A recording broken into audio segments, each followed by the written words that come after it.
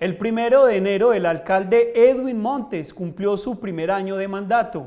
Algunos ciudadanos dan su opinión de cómo le fue al mandatario en el 2020.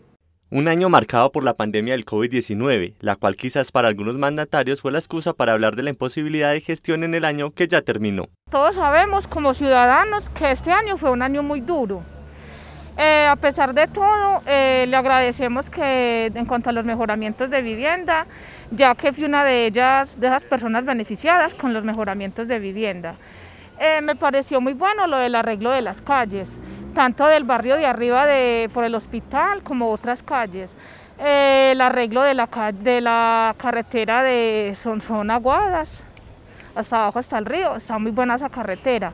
Me gustaría que el, señor alcalde eh, estuviera como más en los barrios, fuera más a los barrios, a visitar los barrios.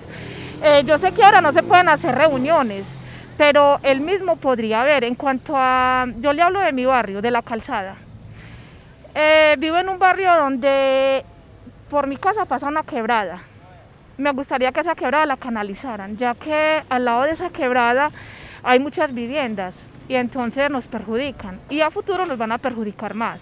Eh, particularmente de la gestión del alcalde, mm, digo que a nivel general ha abarcado muchos campos eh, y ha tratado de abarcar situaciones de la urbanidad y de la ruralidad, que es importante. Y ha sido un año particularmente difícil, o sea, el primer año de gobierno, entonces esa parte la destaco y ya dentro del el espacio donde habito, que es la calle 10 entre carreras 8 y 9, 27 de diciembre de 2019 terminaron la obra del alcantarillado. Y en este momento la tenemos prácticamente intransitable, pero no es solo esta vía, igual también hay otras vías que igual que nosotros están esperando que sean realmente en el proyecto que tienen de pavimentación, que Dios quiera que se haga de manera pronta, porque entre más días va a ser mucho más lesivo. El mal estado de las vías urbanas y el aumento de impuestos, algunos de los factores que los ciudadanos preguntados destacan como puntos negativos. Mi parecer la gestión que hizo el alcalde este año, mm, no sé si es porque yo no salgo mucho o yo no noto cambios. Lo que sí noto es que es algo muy superficial, son, son, son se ve muy bonito pero tampoco nos damos cuenta de que hay muchas calles centrales que están súper malas o familias que uno dice, uy, pero ¿por qué están así si se supone que, que votaron por un alcalde que iba a hacer una, una gestión para que hubiera equidad? Y la equidad en Sonsón a veces yo no la noto. Entonces yo creo que lo que debe mejorar también es eso, es equidad, porque es muy difícil tener contento a todo el mundo, pero no es difícil generar equidad. Yo creo que lo que le falta a Sonsón es unión. Entonces lo que se debe mejorar es unión en el arte, unión en, el pueblo en sí, en que haya más cultura, en que haya más, más gestión bonita y, verdadera, no que se note lo superficial, que unos alumbrados lindos no son son son, son superficial.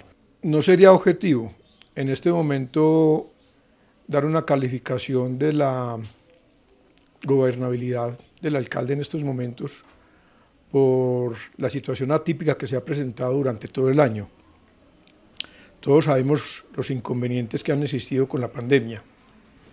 Tal vez este sea un punto positivo el manejo que se le dio a la pandemia, aunque tiene ciertos lunares.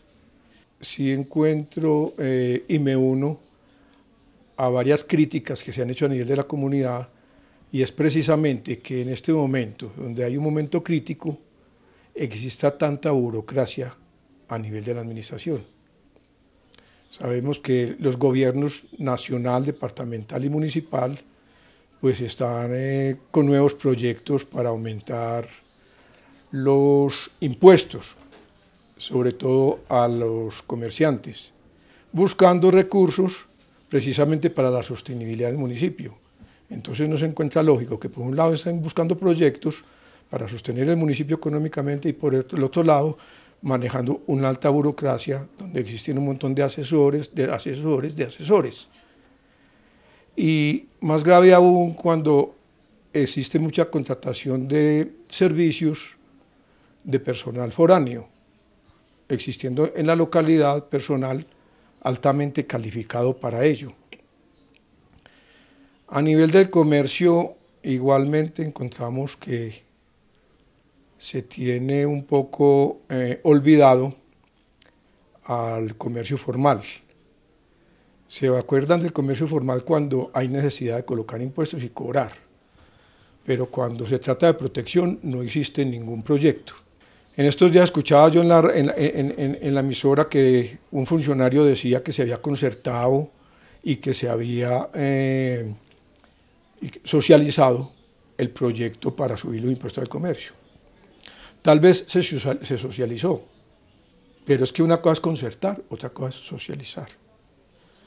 Eh, se socializa cuando ya a puerta cerrada se ha tomado una decisión, ya para qué invitan al comercio, para decirle ya tomamos esta decisión o para qué invitan a la comunidad para decir ya tomamos esta decisión.